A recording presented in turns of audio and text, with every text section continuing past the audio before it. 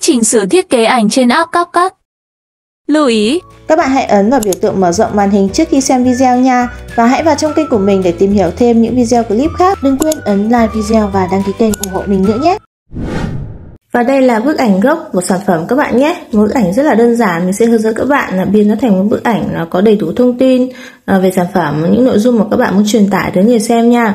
Và các bạn hãy tải app CapCut về cho mình, ai chưa có thì hãy tải về, còn ai có rồi thì mở ra thôi. Các bạn ấn vào cái phần trình chỉnh sửa hình ảnh góc trái trên cùng màn hình này.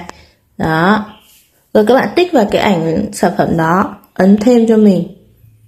Ở đây nó sẽ có cái thanh công cụ phía dưới các bạn nhìn này, rất là nhiều luôn này cái phần cỡ này các bạn chạm vào phần cỡ để khám phá nhé tức là nó sẽ cho mình thay đổi tỷ lệ đấy đó có thể là dài hơn một chút ví dụ mình chọn 2.3 đi đó, và mình ấn tích này.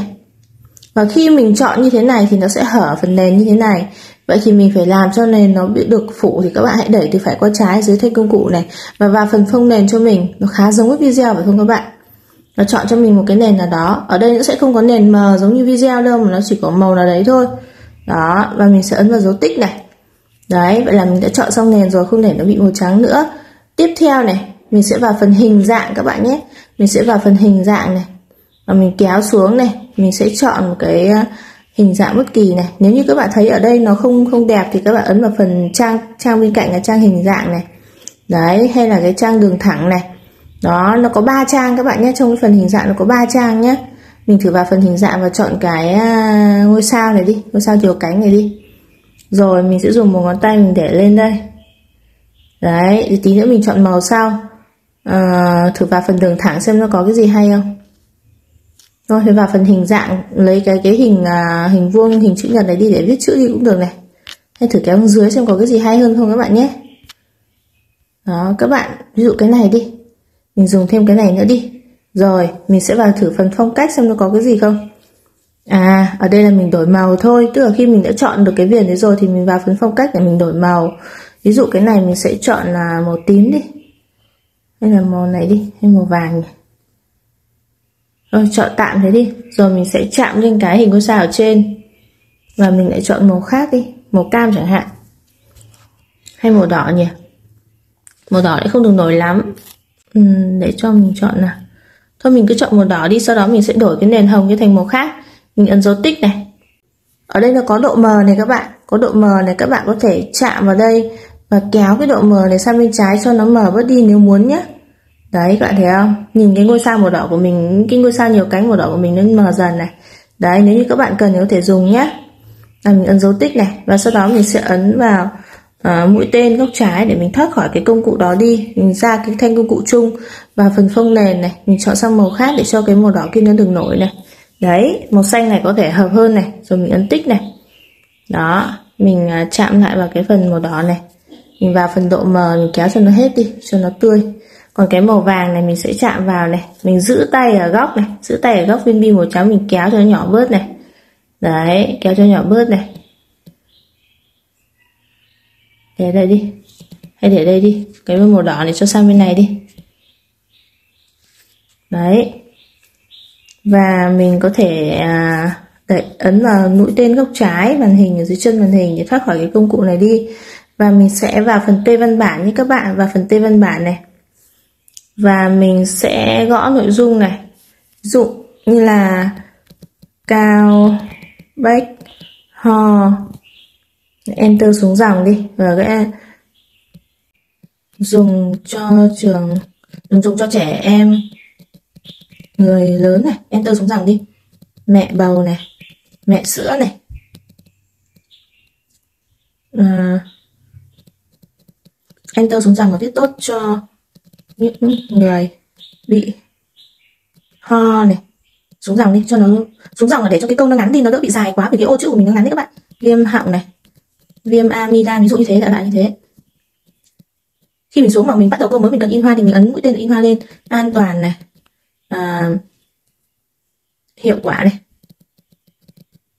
Đấy rồi mình sẽ ấn mũi tên trở về dưới chân màn hình để mình thoát khỏi cái cái phần bàn phím này đi nhé.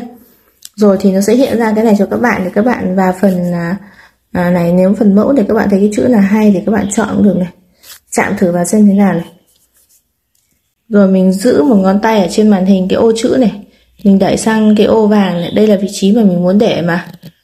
Đó có vẻ là màu chữ này nó không nổi này. Chọn sang màu đỏ nào.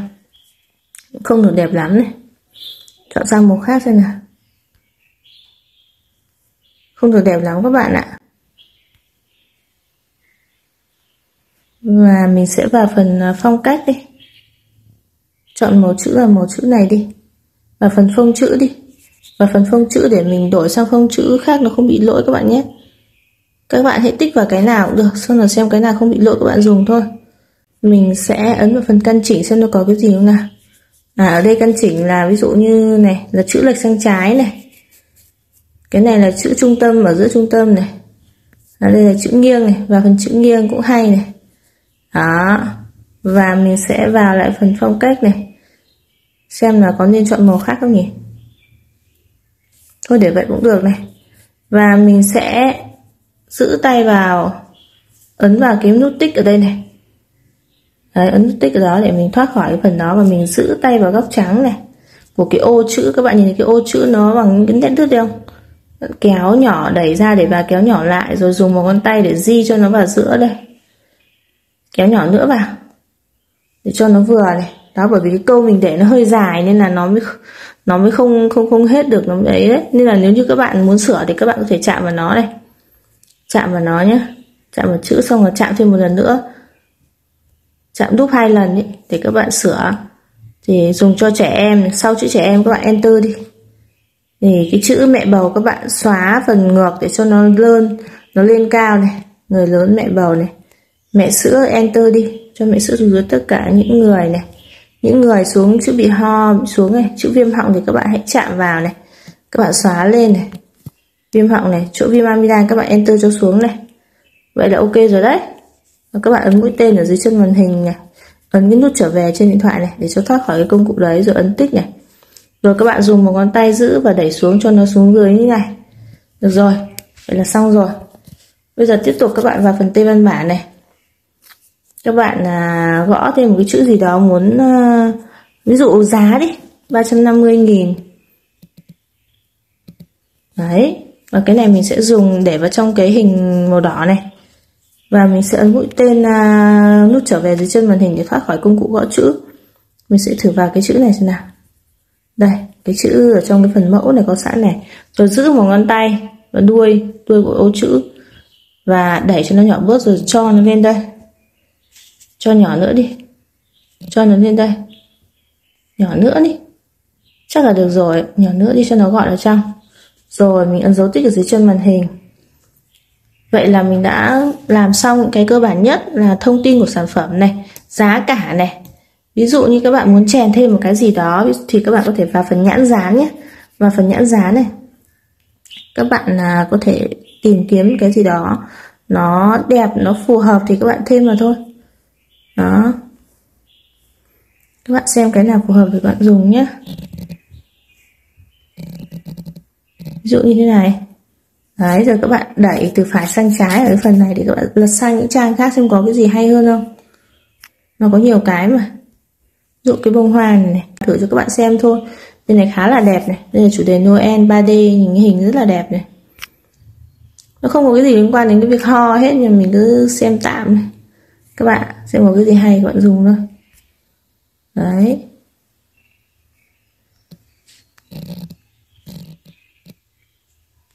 Ví dụ như các bạn làm một cái áp phích là nhân ngày nhân dịp lễ Noel thì các bạn là có khuyến mại gì đó thì các bạn có thể chèn những hình ảnh Noel vào sản phẩm. Sau đó các bạn chèn thông tin chữ giống như thế này này là cái sản phẩm này đang có chương trình khuyến mãi nhân dịp Noel thì được tặng cái gì gì đó lại lại thế nhé.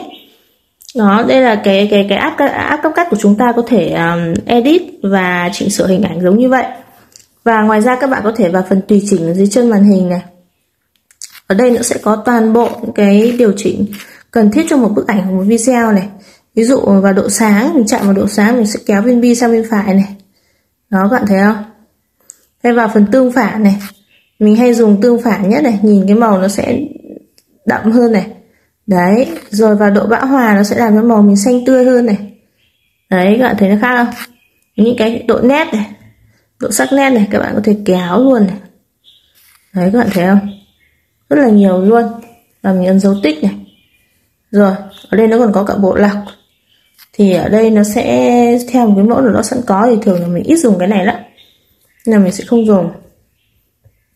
Mình giới thiệu cho các bạn biết thôi. Đó, các bạn thấy không? Và ngoài ra các bạn có thể vào phần thêm hình ảnh ở dưới chân màn hình này. Thêm hình ảnh này, để các bạn thêm một cái hình ảnh nào đó khác vào. Ví dụ như là một bức ảnh nào đó đã xóa nền. Một bức ảnh xóa nền rồi thì chèn vào nó mới đẹp. Chứ nếu mà đã chèn ảnh mà chèn ảnh có nền thì nó sẽ rất là xấu cái điện thoại này đi. Giờ mình đã xóa nền rồi này. Và mình sẽ dùng ngón tay mình zoom to ra này. Đấy là mình đặt vào. Nếu như cái nò, cái này nó liên quan đến sản phẩm của các bạn, đúng không?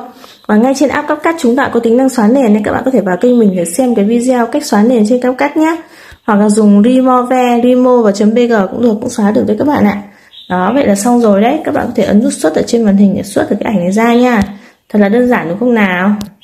Đây, chúng ta đã có bức ảnh rồi. Chúc các bạn thành công nhé. Cảm ơn các bạn theo dõi hết clip của mình. Đừng quên ấn like video và đăng ký kênh ủng hộ mình nhé.